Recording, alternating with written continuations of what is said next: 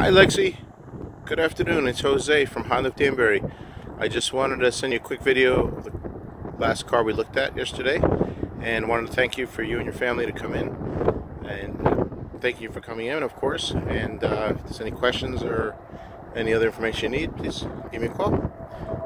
Have a great day and thank you again from Honda of Danbury.